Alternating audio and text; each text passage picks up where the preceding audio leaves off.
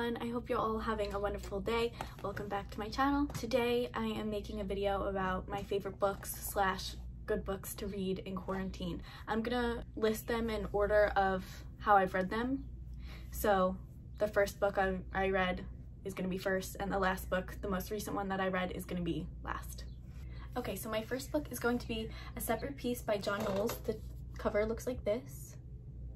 I read I've read this book three times already. I read it in seventh grade or sixth grade, but I think it was seventh grade, in 10th grade, and about two and a half weeks ago, two weeks ago, two and a half weeks ago. All of these books are my favorite books, so I don't have to say that I love them all, but I do love them all. This one is about a boy named Gene and his best friend Phineas. They are in kind of boarding school and it takes place during World War II and it's about their friendship and how a friendship or a person can influence you so much, how the war has influenced all of the boys in the school, how a friend can make you feel about yourself, and also how you can admire a friend so much and still be jealous of them and they can make you feel lesser, but you still admire them so much. And it's a really good book and it brings back memories of my school because I went there from nursery till seventh grade when our school closed. And so reading that there brings me back and we all, we had to do an essay about in the beginning of the book Gene is visiting the school and then he like retells the story and we had to write an essay about us going back to our school in the future and it's just weird now that that school is closed so this brings back a lot of good memories. So for all of the books I'm gonna read the back the little blurb that it has on the back. So this is a Separate Peace and it says Set at a boys' boarding school in New England during the early years of World War II, A Separate Peace is a harrowing and lumi luminous parable of the dark side of adolescence. Gene is a lonely, introverted intellectual. Phineas is a handsome, taunting, dared athlete. There's a little thing of where my school used to be, so I don't know if it's cutting off words, but I'm doing the best that I can. What happens between two friends one summer, like the word self, something, some word with a B, the Innocence of the Boys and Their World. A bestseller for more than 30 years, A Separate Peace is John Knowles' crowning achievement and an undisputed American classic. I really, really recommend this book as I do the rest of them. My next book is The Great Gatsby by F. Scott Fitzgerald. I'm sure everyone knows of this book and the movie with Leonardo DiCaprio. This book is really famous. I also read this book in, I think this one was seventh grade, I'm pretty sure and then I read it again in 12th grade, I think. And then we also watched the movie in 12th grade. The movie, I'm not as big of a fan of it as I am of the book. I think the book is much better. And if you're gonna read or watch it, I would suggest reading the book instead. I'm sure everyone knows what this is about, but I'll tell you a little bit about it.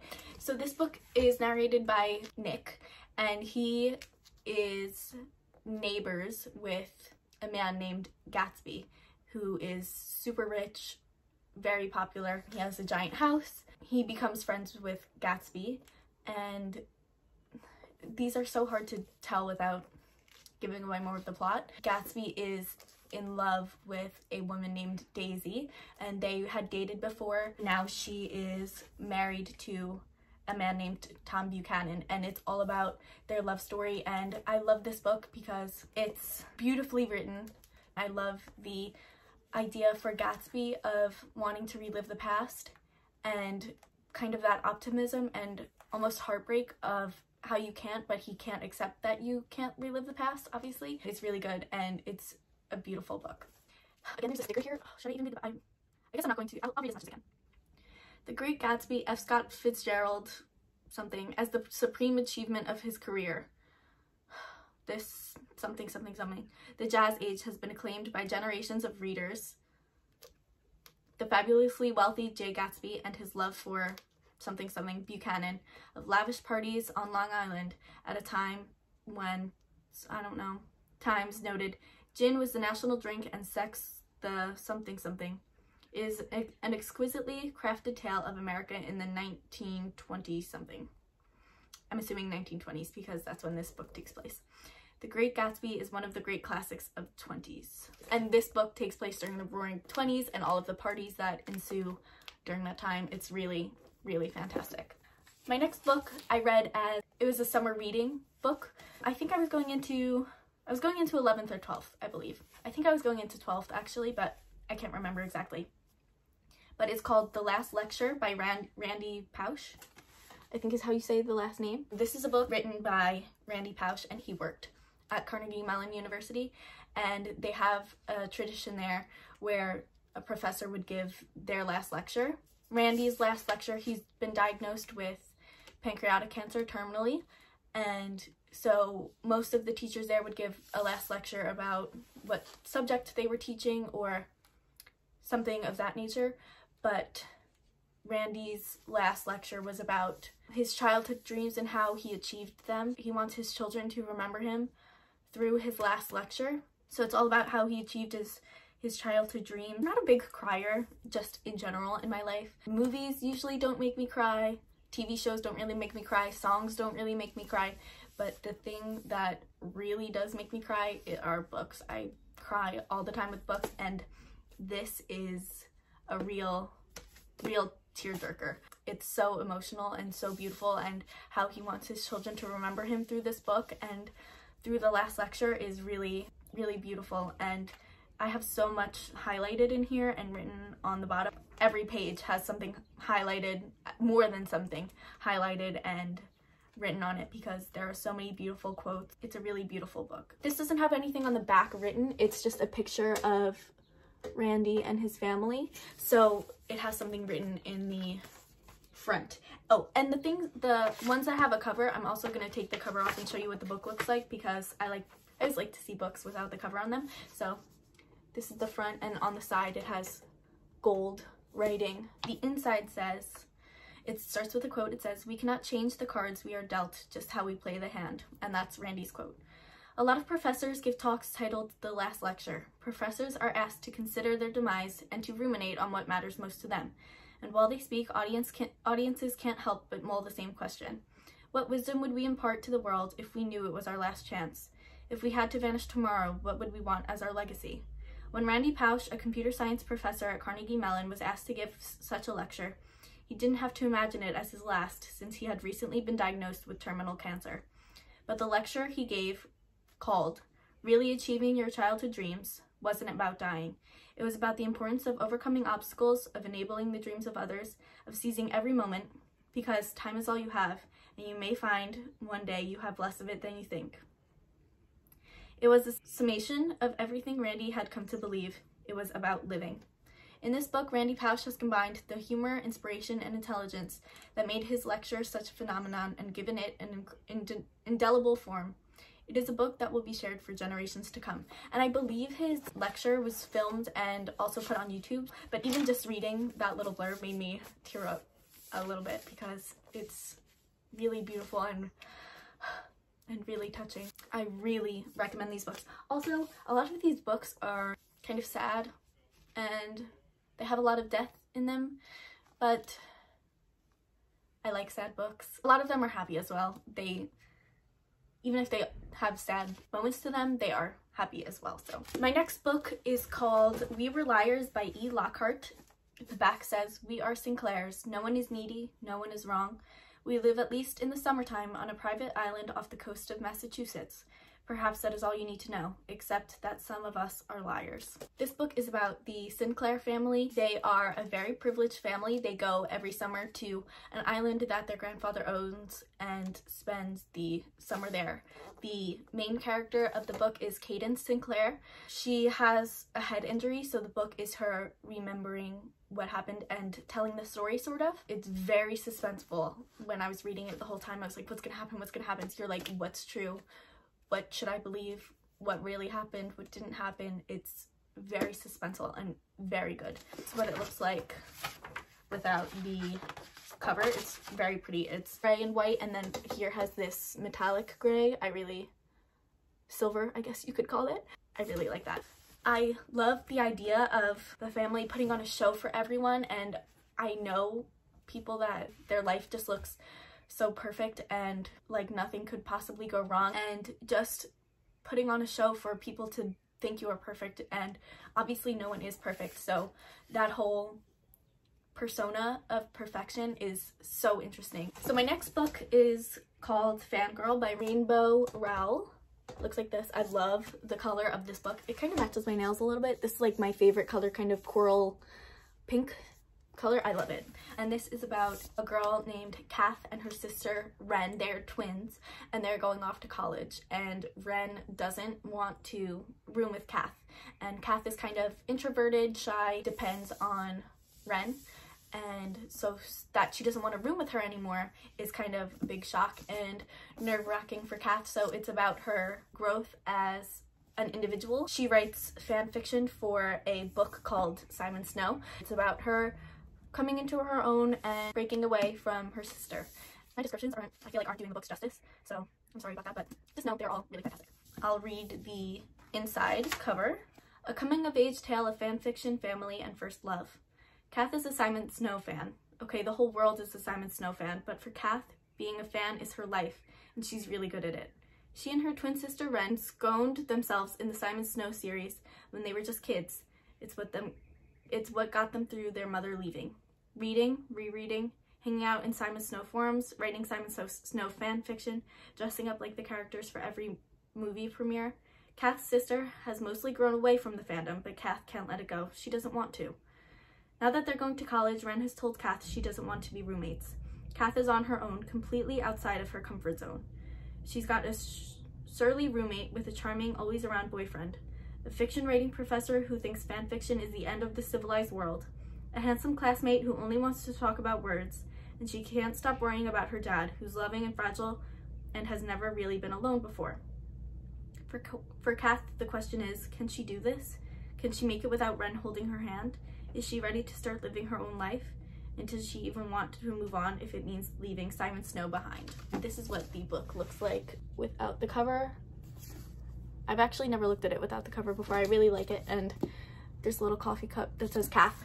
So the next book is The Sky Is Everywhere by Jandy Nelson. I love this book. The characters are one of my favorites of the 15 books that I have here. Um, so it starts with a girl named Jamie, Lenny, I'm sorry, Jamie with Lenny. Her sister Bailey has just died. They were super, super close. So it's about her moving on from his, her sister and how she handles grief, how the other people who were affected by Bailey's death also handle grief. She lives with her grandma and her uncle. It's beautiful. There's a love story.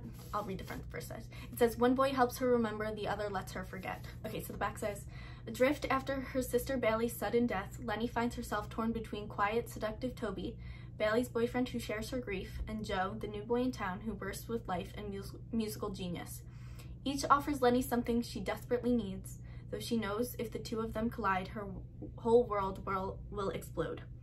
Join Lenny on this heartbreaking and hilarious journey of profound sorrow and mad love as she makes colossal mistakes and colossal discoveries, as she traipses through band rooms and forest bedrooms, and ultimately right into your heart.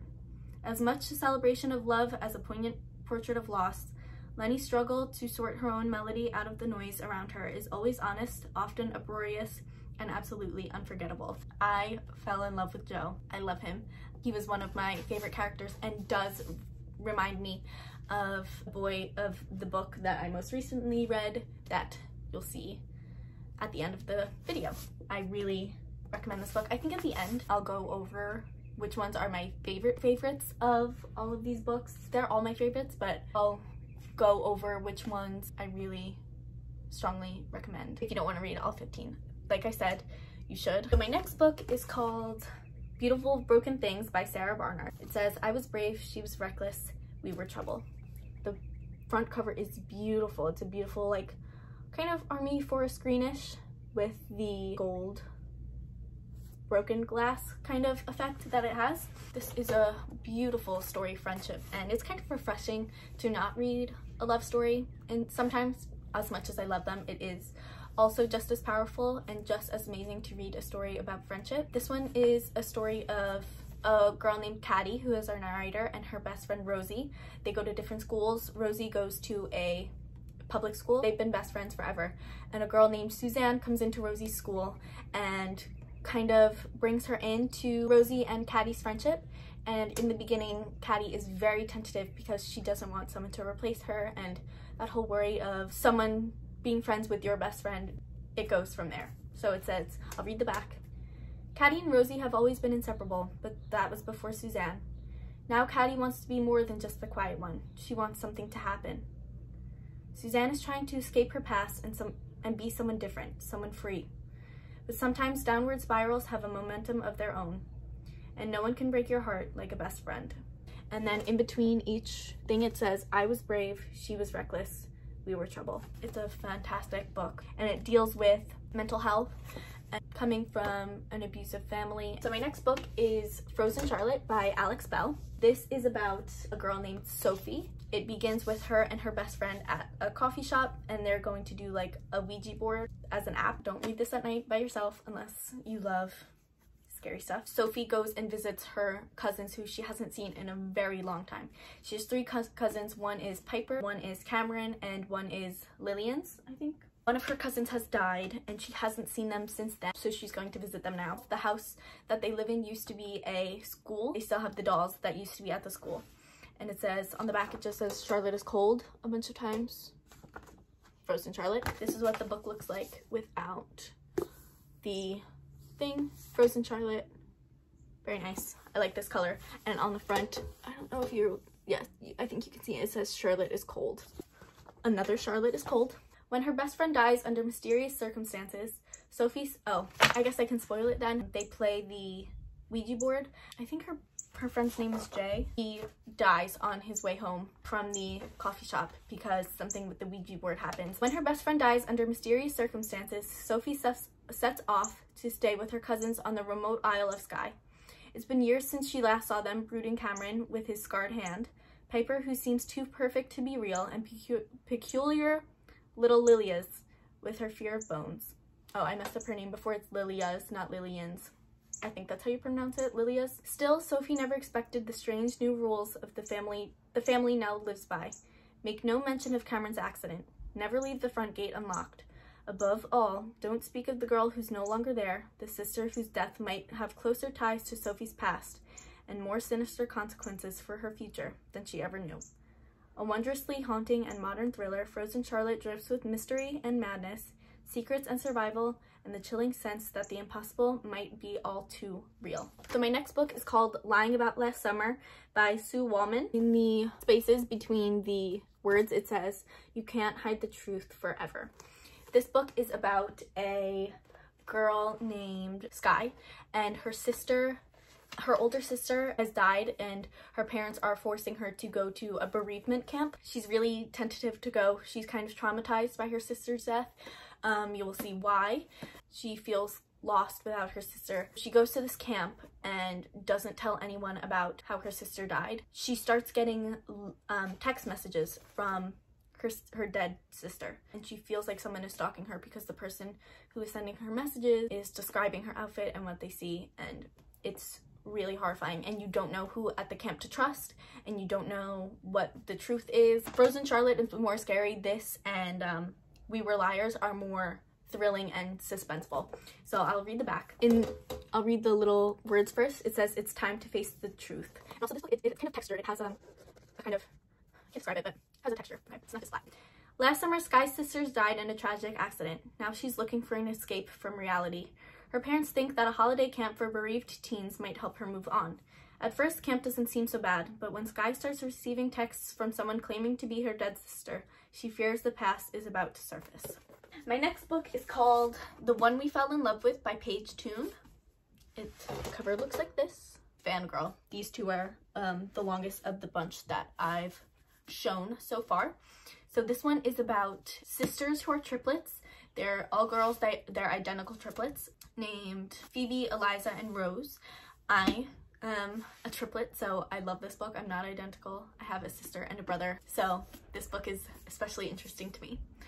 So there's Phoebe, Eliza, and Rose, and they are very different. They have very different personalities, but they have one thing in common and that is the boy that they are all in love with named Angus.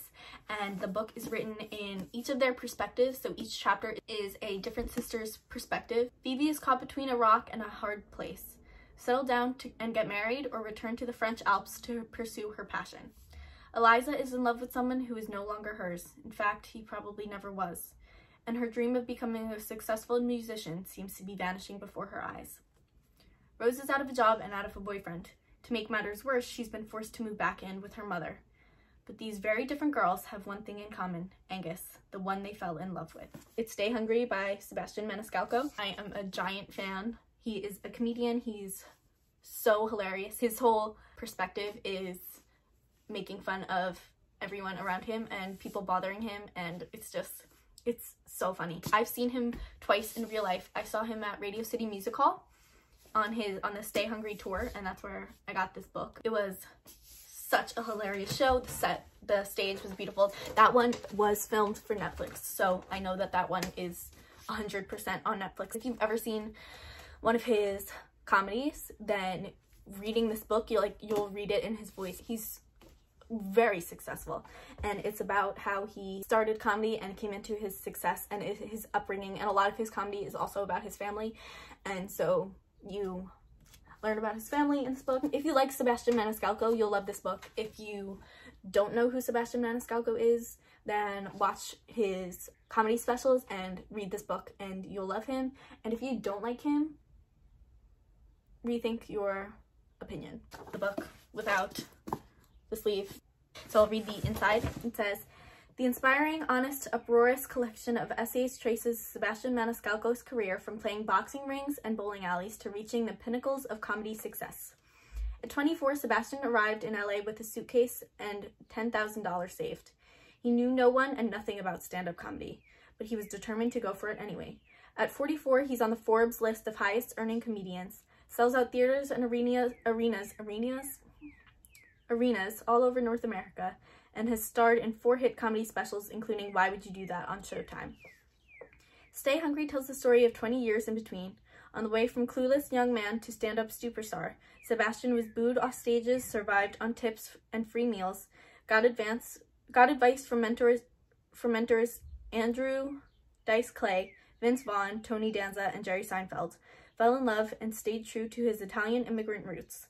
The one code that always kept him going. Stay hungry, keep focused, never give up, and one day you'll make it. It's really inspiring. I love reading about people that I know, their success stories, and um, I find them really inspiring. So my next book is Me Before You by Jojo Moyers. Moyers? I don't know.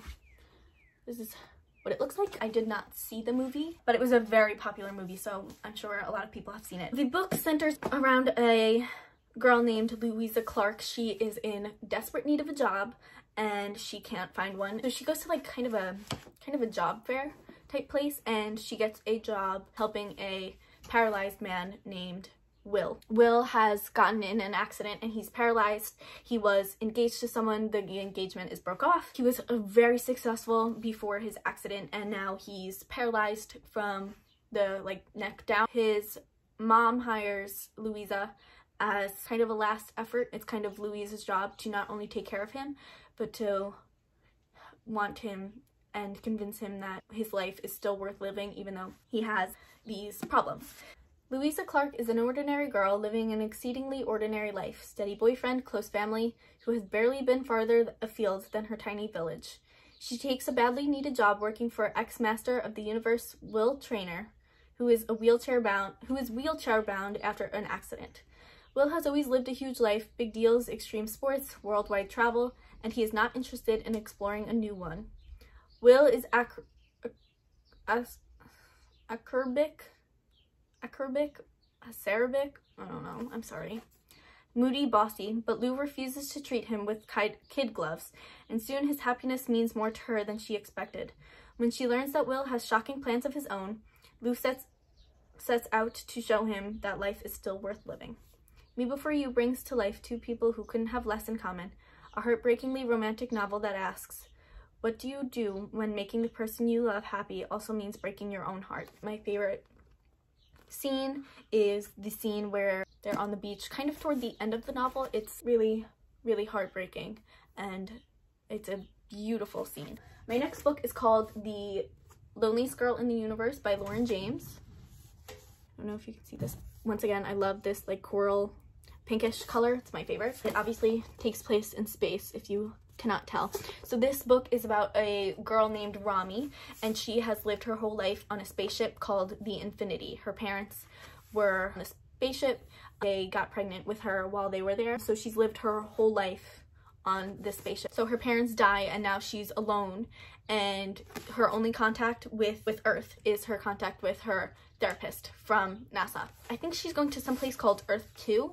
NASA is sending a ship called the Infinity to kind of, I think it's gonna like join with her ship and um, they're going to go to Earth 2 together. Along the same lines of Lying About Last Summer and We Were Liars, this is also a thriller. It's not horrorish, but it's very suspenseful, very entertaining and scary, but more, it's suspenseful and not like horror scary, you know? Days since the Infinity left Earth, 6,817. Romy Silvers is no stranger to life in space, but she never knew how isolating the universe could be until her parents' tragic death left her alone on the Infinity, a spaceship speeding away from Earth. Romy tries to make the best of her situation, but with only brief communications from her therapist on Earth to keep her company, she can't help but feel like something is missing. It seems like a dream come true when NASA alerts her that another ship, the Eternity, will be joining the Infinity. I don't know if I messed this up. Romy is on the Infinity the other ship is going to be called the Eternity. Romy begins exchanging messages with Jay, the captain of the Eternity, and their friendship breathes new life into her world. But as the Eternity gets closer, Romy learns that there's more to Jay's mission than she could have imagined, and suddenly there are worse things than being alone. Really good book, really suspenseful, couldn't put it down, and it makes me remember my time in Arizona, so love it. I'm going to put in a bonus book right now because I don't have the book with me. I lent it to my friend a while ago and I haven't gotten it back because she didn't finish reading it and whatever, whatever. But I don't have it with me to show you and that's why I'm going to put it as a bonus book. Out of, let's see, after the last lecture, this would be the first book before We Were Liars. So it is by, um, All the Bright Places by, what's her name? I can't think of it. Um, Jennifer Niven, I think. Is it Jennifer Niven? I think it's Jennifer Niven. I'll, I'll put it below. Um, I believe it's Jennifer Niven. If I'm wrong, forgive me. I'm gonna put, I'm gonna link everything below, or at least list them if I can't find a link. I think it's Jennifer Niven. Okay, anyways, it's about a girl named Violet whose sister has just passed away and a boy named Theodore Finch, and he's referred to mostly in the book as Finch. I think a movie of this just came out on Netflix. I have not seen it. It's really heavily about depression and suicide and they meet on top at their school on top of the I think it's a bell tower. They're both going to jump and it's a story of their love and finding happiness in both of their troubled times. And it's heartbreaking and really good. Finch is one of my favorite characters. It's a beautiful book. So that's the bonus book. So you get 15 but kind of 16 um, it's a bright blue cover. I think it I think it has a bird on it. It has like post-it notes on it I believe also. My next one that I have on the list. I just read this over the weekend. I read this one in two days. There's different parts of this book and I was gonna, I think there's four parts. Like this is part two. So each thing has a section and I was gonna save it for four days, but I couldn't put it down. So I read it in two with doing homework in between. Otherwise I would have been able to read it in one. So it's called They Both Die at the End by Adam Silvera. This is the cover. I love this co color um, of the cover. Sorry, I'm having tripping over my words. It's beautiful blue and there's dark, the dark blue with the stars. Those are the two main characters on the front. A lot of these books are from the two Zoella book clubs and that's, or from school and that's how I found out about them. But Me Before You, I just wanted to read The Loneliest Girl in the Universe, this book, and my next book I just saw on Barnes & Noble, I think. I, I forget what I looked up, but I was judging a book by its cover and the covers just made me want to read them. It's kind of easy to describe because the title, I don't really have to worry about spoilers too much because the title says what happens. It's called They Both Die at the End.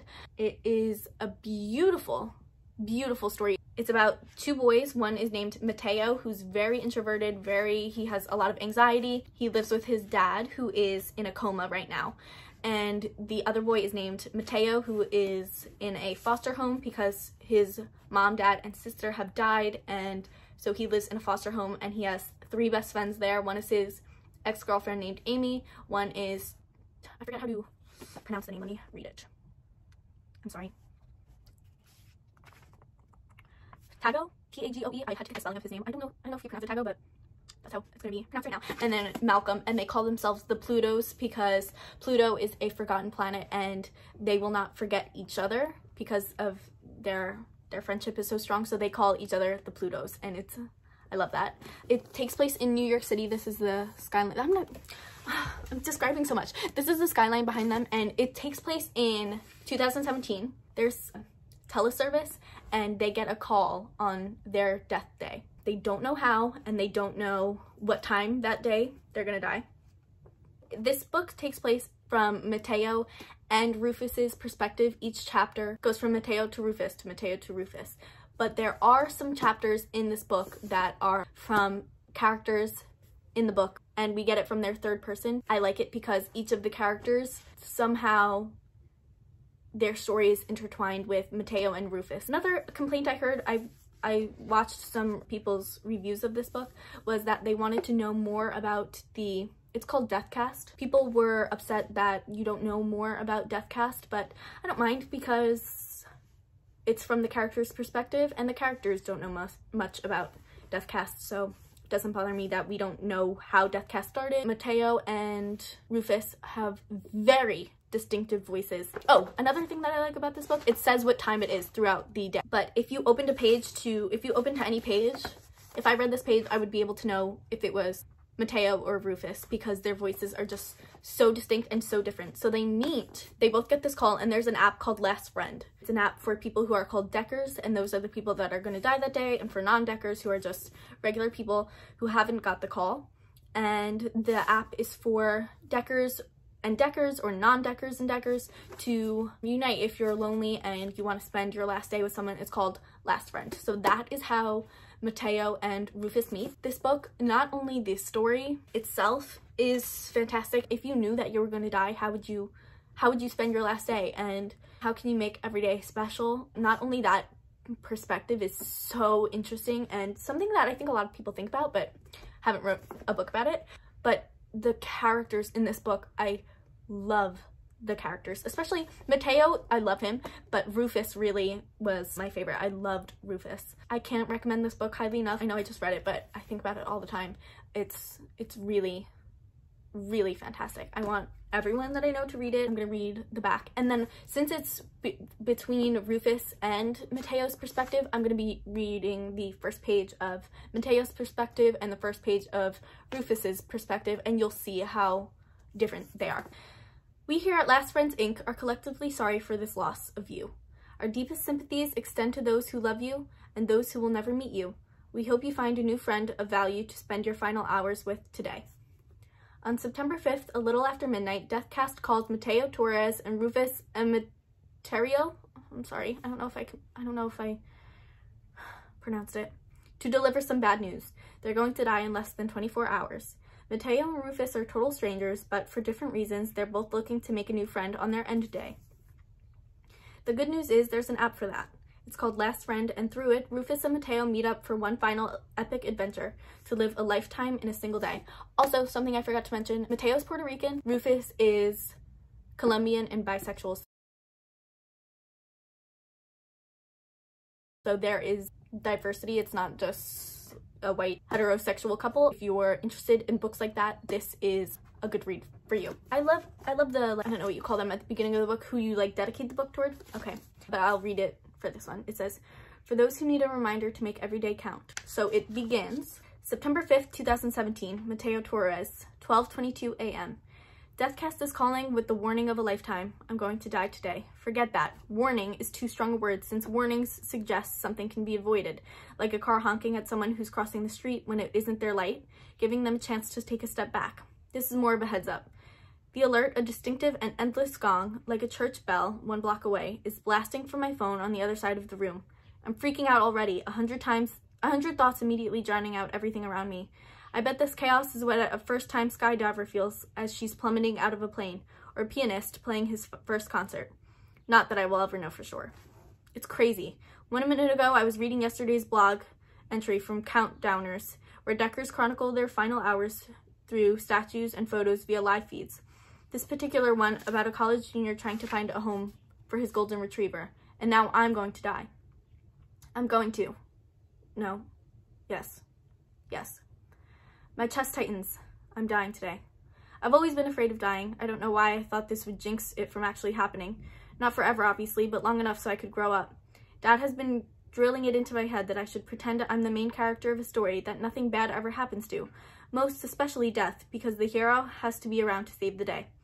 But the noise in my head is quieting down, and there's Deathcast herald on the other end of the phone waiting to tell me I'm going to die today at 18 years old. Wow, I'm actually...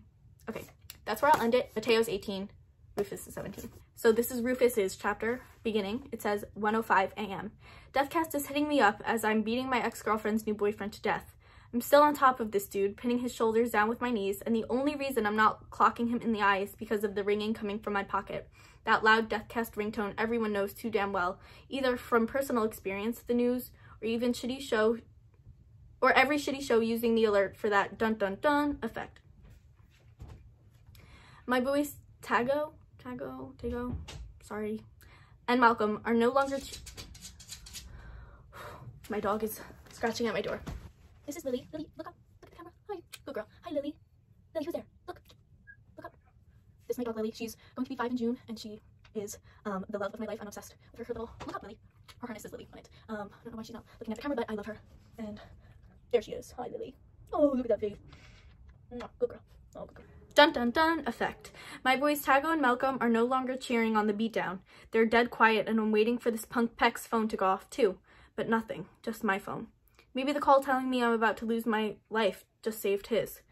You gotta pick it up, Roof, Tagoe says.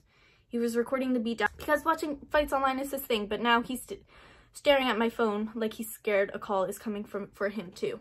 And the last book I have, The Start of Me and You by Emery Lord. Looks like this. I just finished this book yesterday. So I started reading They Both Die at the End, I think on Sunday and Monday, and then I read this book on Monday and Tuesday. The little thing at the bottom says, it's never too late to rewrite your story, and she's diving into a swimming pool, which is significant for the story. It is about a girl. Her name is Paige. She is, I think, going to be a junior in high school. It starts out over the summer that she's going to be a junior. She dated a boy named Aaron. He died in a swimming accident. They dated for two months, and it is about um, her grief of his death, even though she didn't know him for that long, and it's more about um, her guilt and how others look at her because they know that she's a girl with the dead boyfriend. And I hate it when I'm doing that in every video, and I wish I wouldn't because I don't do it in real life, but it's like I swallow and then I'm like, and I don't do that in real life, but I seem to do it in all of my videos, and it's annoying me, but I will make a conscious effort. I've probably done it like 10 million times in this video, but I will make a conscious effort to stop doing it, and um, I will make more of an effort for the rest of this video to stop doing it, because every time I edit one of the videos, it annoys me to no end, but I can't I guess I can't help it and I don't do it in real life, so why am I doing it now? I don't know. There, I just did it. Did you see that? Did you hear that? Probably. She is in love with a boy named Ryan Chase, who they've gone to school with forever. She also has three best friends, Morgan, Kaylee, and Tessa. And this is all a story about relationships, but also a, I mean like romantic relationships, but also a great story about friendships and how much friends can do for you and how you how you need and how friendships are about how friendships are just as important as romantic relationships. Since the death of her boyfriend Aaron, she makes a Paige makes a list for herself to follow and things that she wants to change and who she wants to become and instead of just living in the shadow of being the girl whose boyfriend died. So she has a bunch of things on the list and one of the things she does is she joins a club at her school called Quiz Bowl and it's like like a trivia club and like you go and compete against another school and do trivia and whatever. And, oh, sorry. Someone she meets on the team is named Max, and he is Ryan's cousin. Max is the character that reminds me of Joe in The Sky Is Everywhere. I love both of their characters. I'll read the back. It's been one year since it happened. When Paige Hancock's first boyfriend died in a swimming accident, she shut out of almost everyone. Now Paige has decided it's finally time to rejoin the world and she has a plan. First on the list, go out with Ryan Chase, her longtime and newly single crush. And last on the list, swim. Terrifying, yet possible. But when Ryan's sweet, nerdy cousin Max moves to town and recruits Paige for the Quiz Bowl team, of all things, her perfect plan is thrown for a serious loop. Starting over isn't easy, but Paige knows the scariest things are usually the most difficult. Can she face her fears and open herself up to life and love again? That's the question. It will be answered if you read the book. I'll scoot you in a little bit closer. Okay. I'm sorry, I did not do, I don't think I did the best job at describing them. Um, I don't think I did the best job at reading out of them. Um, but I hope I did a good enough job for you to want to read all of them. Oh, and what I did want to do was, um, at the end I said I would, um, go to, at the end of the video I said I would say which ones I really think you should read out of all 15. If you don't want to read all 15, like I said, I think you should read all 15, but I will go through which ones I really, really, really recommend the most. I guess I will do this by which ones have resonated the most to me, especially now going back and talking about them again, and which ones I feel have the best meaning and which ones are the most entertaining for you, in my opinion. So the first one I'm going to start with is the last lecture because I could cry right now about how moving his story is and I think just the fact that it's his his last uh, his his last impression for his children. If I remember right, they are young when he dies, and how he wants his children to remember him and his philosophy for living every day as if it's your last and being happy and doing what you want with your life and wishing that he could be the father for his children that he wants to be and he's getting that chance taken away from him. His speech was for his children and obviously it's a very emotional and it's a beautiful story. So this one highly, highly recommend. Okay, my next one, We Were Liars. Fantastic, so suspenseful, love the story, definitely. And it's a very quick read. It's one of the shortest reads here, so definitely this one as well. So, so far the last lecture, We Were Liars. I think the next ones are going to be The Sky Is Everywhere because I fell in love with the character of Joe and just the story and grieving from losing a sister who was so important to her and yes, love this one. Beautiful Broken Things. It's a beautiful story of friendship and how much you are willing to do for a friend, even if it's a new friend. Beautiful story beautiful cover I love. Okay, anyways, if you love or know of Sebastian Maniscalco, this is definitely a must for you to read because it's hilarious and inspiring and if you love him then you'll love this book. All the Bright Places, that's beautiful. They both die at the end because the story is wonderful and very creative and love the characters. So that is where I will end this video today. I hope you enjoyed all of my book recommendations. I do really want to read more books, but I don't have money right now to buy more books on Instagram. I do have, um, I'll, I always put my Instagram at the end of the video, but I'll put it down below too in case people don't watch till the end and they want to follow me on Instagram. I have a little like story page on my quarantine reads, so you'll be able to see everything that I've been reading so far in quarantine. I hope you enjoyed my assortment of 16, I think, books that I had here. If you do end up buying any of them, even if it's just one of them, I would love to hear your thoughts about it because to, they're all really fantastic. If you end up reading any of them, comment down below eh, which one you read, if you liked it, if you have read any of them and want to talk about them, you can message me on Instagram. Like I said, I'll leave it below and it's always at the end. I'd love to talk about the books. So thank you for watching. My next video I think will be my favorite movies slash good movies to watch in quarantine. This video will probably be more on the long side. The one about the movies will probably be much shorter because there's less of a description for movies and I love books because they're like a long movie that you can make in your head, but movies are more straightforward and easier to talk about. The one about the movies will not be as long, but I hope it'll be just as good, if not better. So Thank you for watching. Come back if you want to see a list of my favorite movies and movies I think you should watch in quarantine. Thank you so much.